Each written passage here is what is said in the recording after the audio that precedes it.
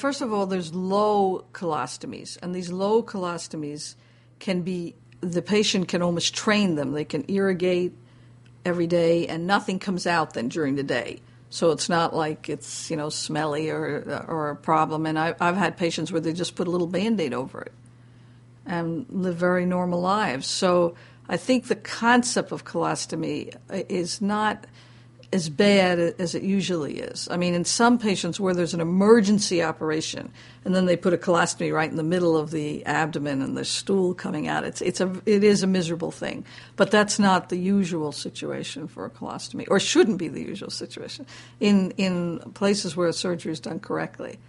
Uh, that type of colostomy should not be done unless it's being done to protect the anastomosis, which means where they're putting back the two pieces of bowel. So they're protecting that with a colostomy up higher with the hope that in the future they will close that colostomy. So that's the only reason to use one of those high colostomies, really. So this sounds like something that patients need to be aware of so they can discuss that with their doctors. Yes, because remember it's very low and, and to do it correctly and preserve the nerves because there's nerves there to the sexual organs and other nerves that they want to preserve is done better in certain big institutions and by certain very well known surgeons. So rectal surgery is an art. I mean, that should be done by physicians that are very familiar with it.